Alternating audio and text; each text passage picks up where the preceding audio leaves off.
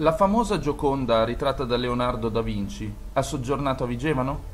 Secondo alcune teorie sì, e ora andremo ad analizzare il perché si ipotizza questo.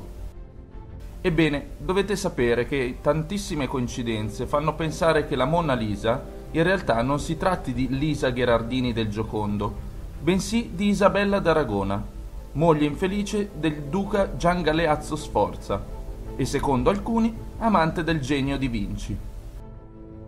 Ma allora andiamo ad analizzare i dettagli che confermerebbero la teoria. Mona Lisa rimase vedova nel 1538. Leonardo morì nel 1519. Strano rappresentare una donna col marito ancora vivo con quell'abito. Più probabile che si tratti di Isabella, la quale Leonardo vide la vedovanza. Un particolare su tutti l'orlo dell'abito. In effetti, se accostiamo quest'ultimo allo stemma della casata Aragona Sforza, notiamo che è praticamente identico.